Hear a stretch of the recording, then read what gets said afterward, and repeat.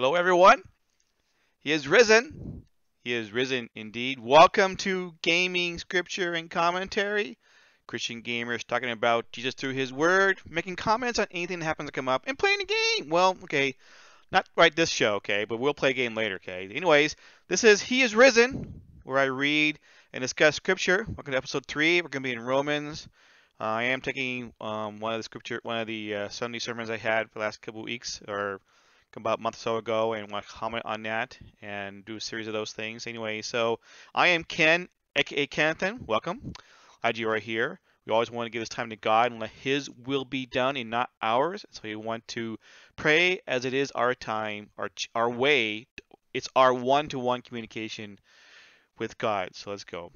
Dear Heavenly Father, we thank you so much for what you do for us, even when we don't ask. Thank you for loving us no matter what we do.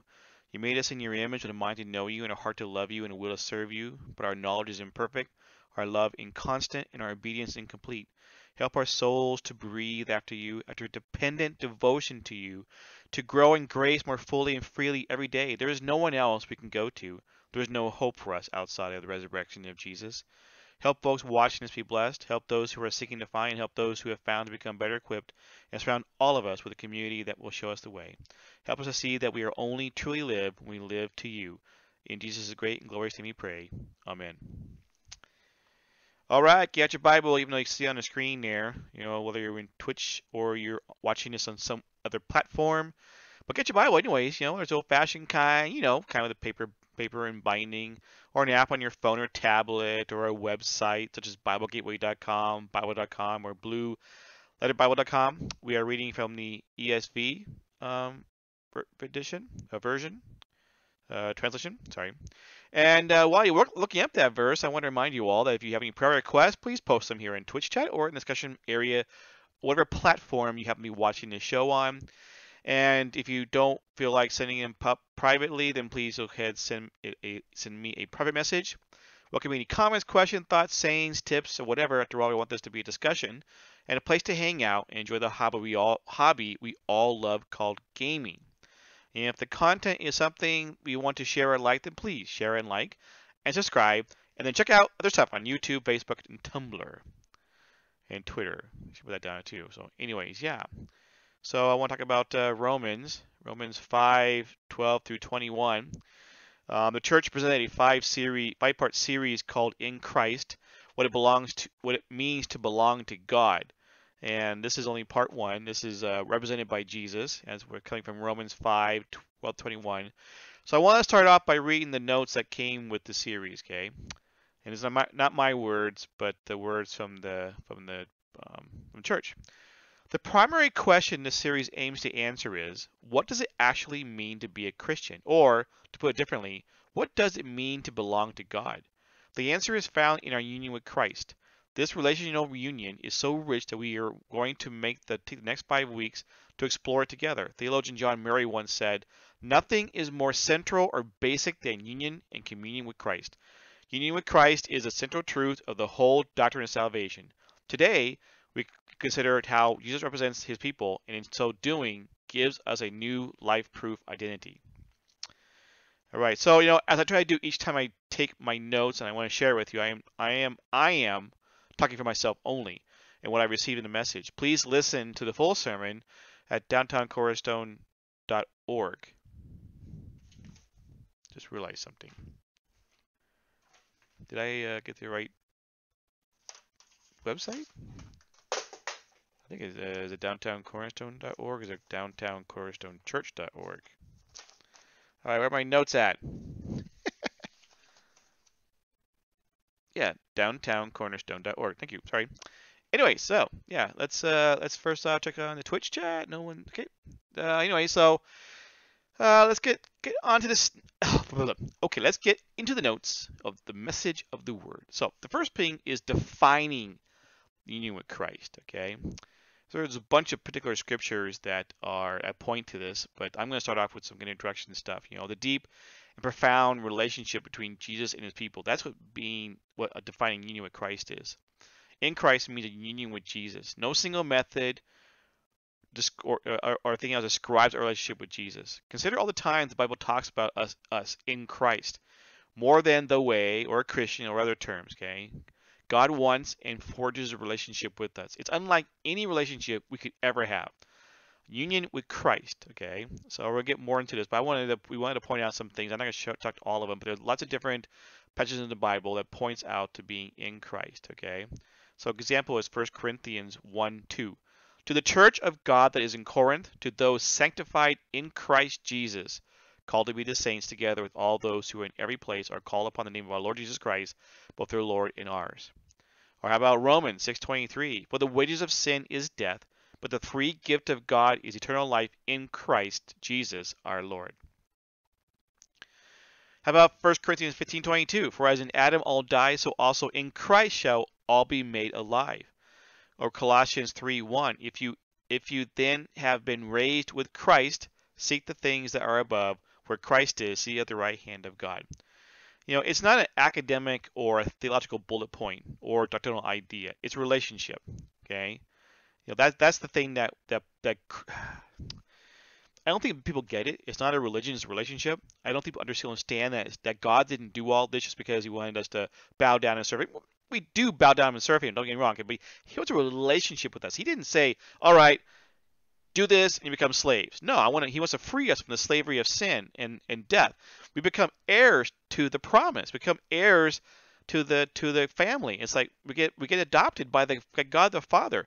He's if, if he was actually looking for us to be something different, like to be worshipers, you know, like like like he's like some of the um, you know human uh, stories, or you see like these uh, mythologies, or just any stories you hear about, like people like bow down and worship me, or even like Star Trek, where Was it where one episode where the people, the more they worship, the stronger they got, the less they worship, the weaker they got. So they, you know, they get benefits that. No, God wants a relationship with us. Okay.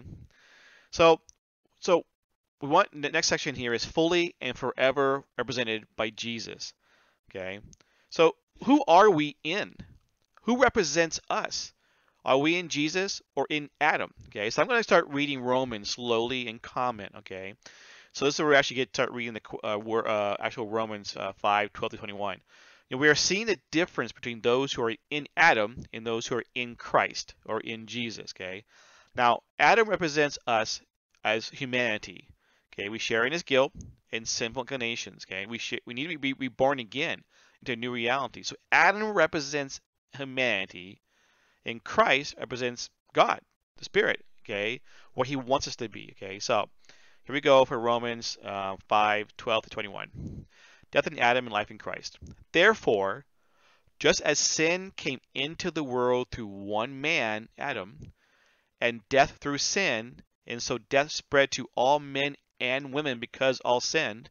For sin indeed was in the world because the law was given, but sin is not counted where there is no law.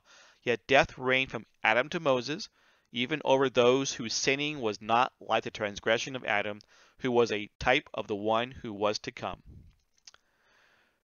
So remember now, Adam is representing humanity. Okay, you know if you know the story of the Bible, you know we had the Adam and Eve in the garden, and they disobeyed God and and sin into the world. But the free gift is not like the trespass. For if many died through one man's trespass, which is Adam, much more have the grace of God and the free gift of grace of the one man, Jesus Christ, abounded for many. Okay, remember now. So death through Adam, but grace abounds from Jesus. Okay, you know, and the free gift is not like the result of that one man's sin. For the judgment following one trespass brought condemnation, you know, in Adam, but the free gift following many trespasses brought justification in Jesus or in Christ.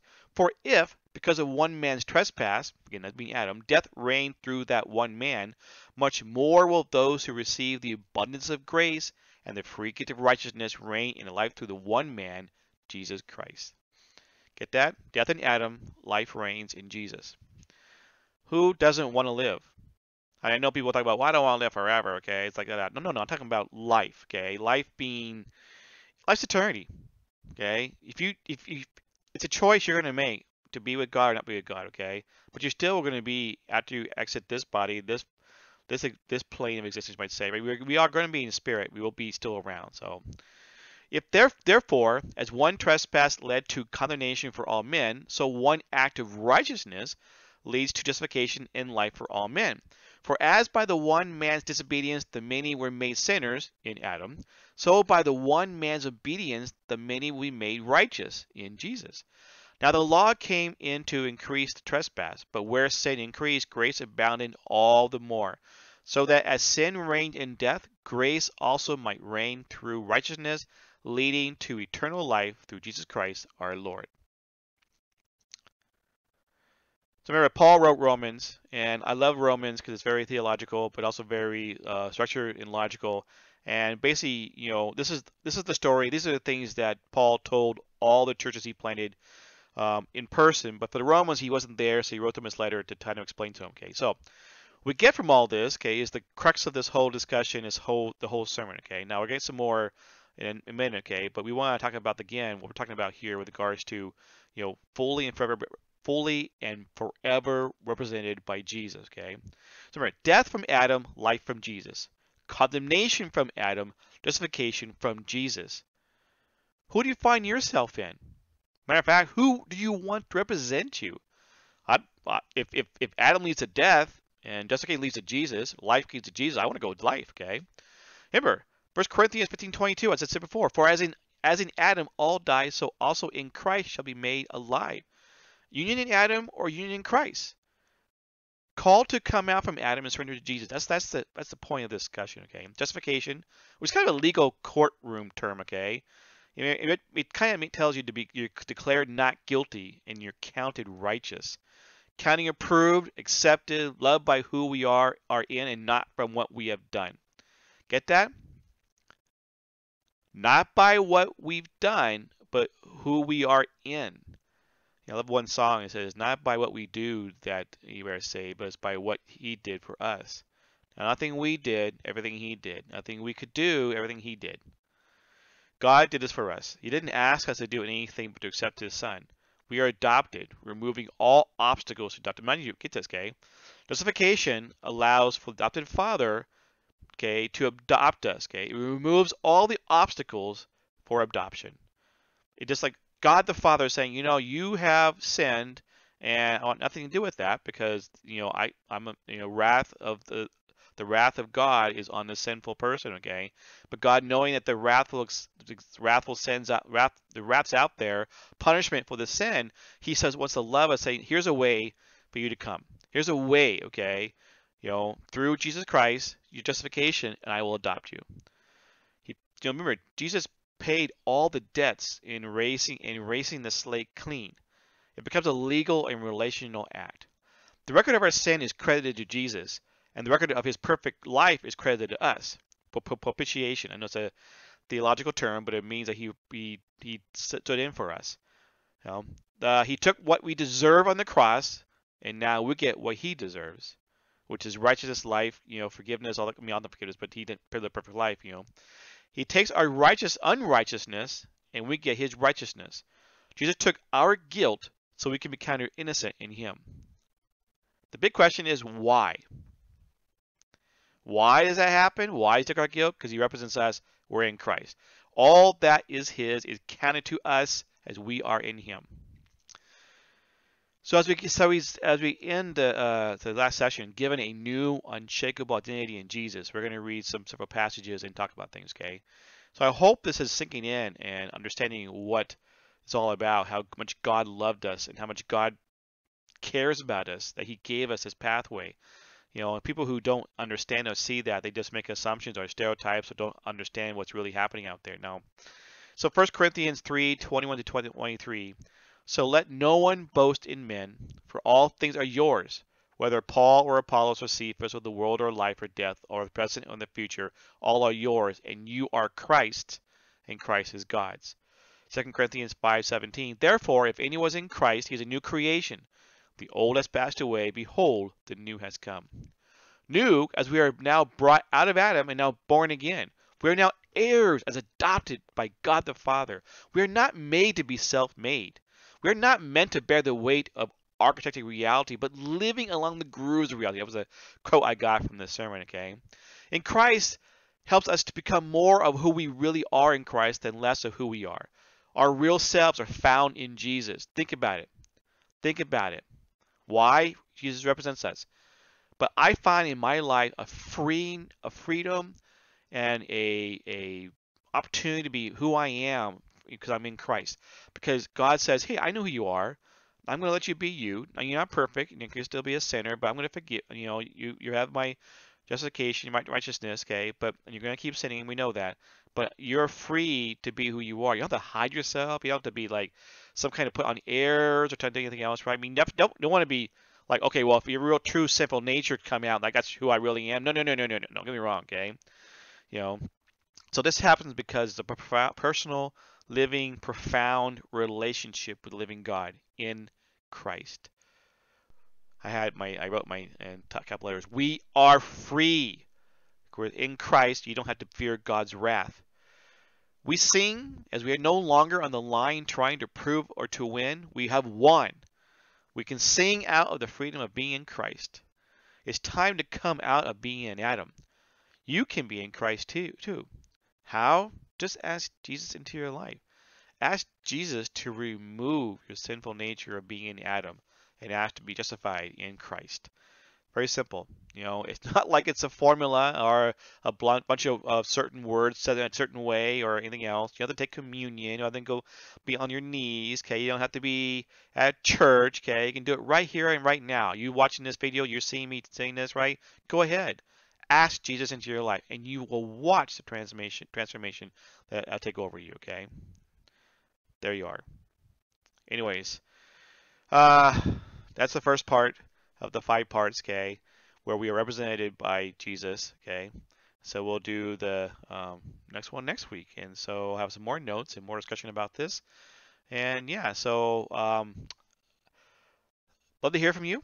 Any prayer requests, go ahead, let me know. So this is a discussion. I want this to be a discussion, so go ahead and leave me comments, thoughts, questions, anything you want to do. And yeah, so I hope you watch this video and hope you get blessed by it. I hope you uh, will put your life into God's hands, and I hope that I'm not talking too much or I'm not making sense, I would really, really love people to watch this video, provide feedback and say, you know, Ken, you, I don't understand you sometimes. You talk too fast or you're not very clear or you're saying things that kind of like are in jumbled or uh, not in, in, say broken sentences and not fully fleshed out thoughts. I don't know. I want to I want to know more. So anyways, let me know. So take care of yourself. God bless you and streaming out.